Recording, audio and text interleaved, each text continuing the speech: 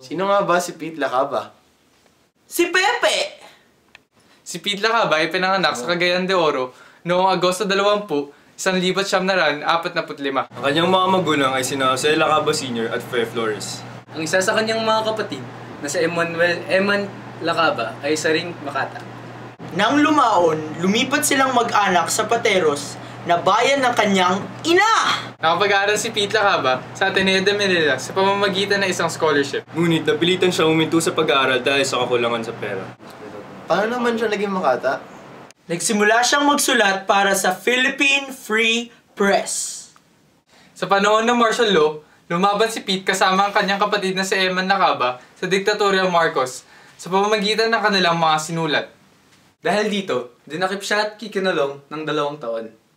Marami siyang nailimbag ng mga tula at gawain noong panahon ni Marcos. Ang mga ito ay ang tulang Prometheus Unbound at ang koleksyong mga kagilas-gilas na pakikipagsapalaran. Sumabak din siya sa pagsulat ng mga script para sa pelikula. Kasama si Ricky Lee, isinulat nila ang script sa pelikulang Jaguar noong 1979. Kasama sa kanyang ibang natatanging akda ay ang Sister Stella L.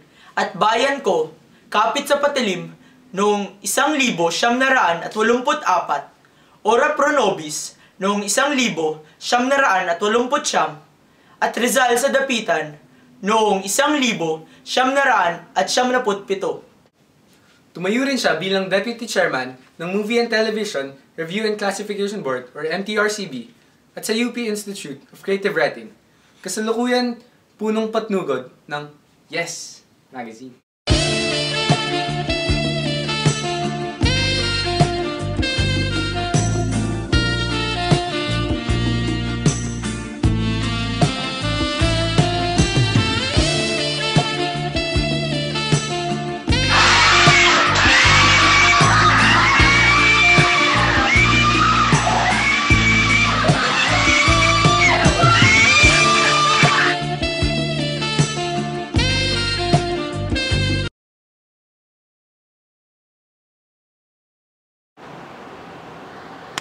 Matay na niyang isipin.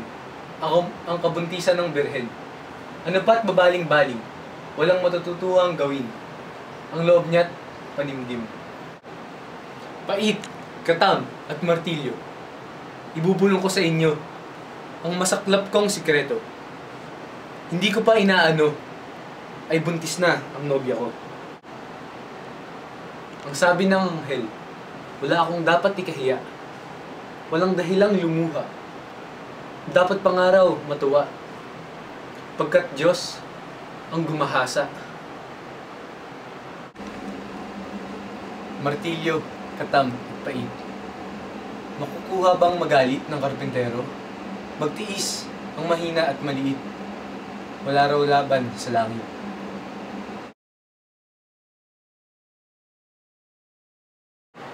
Ganito ang pagkain ng paksiw na ayungin. Bunutin ang palikpik at ang natirang tinik at ilapit sa labi ang ulat sipsipin, ang mga matang dilat. Pagkatapos ay mismo ang ulang sipsipin hanggang sa maubos ang katas nito. Saka mo umpisahan ang laman. Unti-unti lang, dahan-dahan, at simutin ng husto. Kukuntihan ulam natin. Mahirap paglawain sa sabaw. At huwag kang maangal. Kahit man ang ayungin, mabigat din sa tiyan.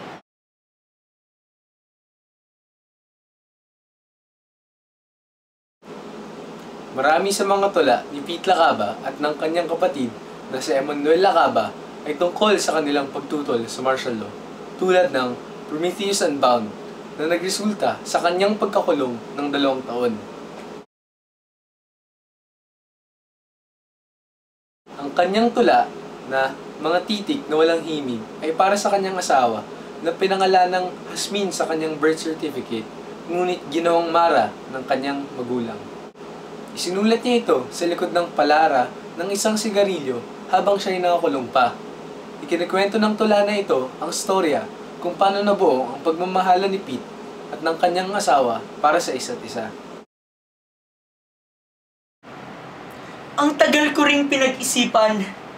Kung ikaw, Asmin, ay aking liligawan. Ngayon wala nang alinlangan. Hasmin, kaibigan ng limang taon, iniibig kita ngayon. Ang sa akin ay hindi pag-ibig, naguhit ng palad o utos ng langit. Ito ay desisyon ng puso at isip. Hasmin, kaibigan ng limang taon, iniibig kita ngayon. Hasmin, aliwalas ng bukang liwayway, mamahalin kita habang buhay.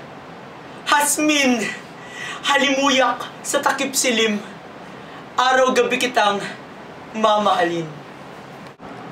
It's just another night, and I'm staring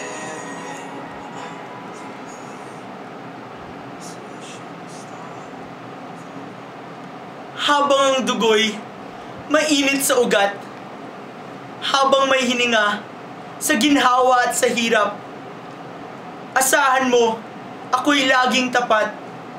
Hasmin, kaibigan ng limang taon, iniibig kita ngayon.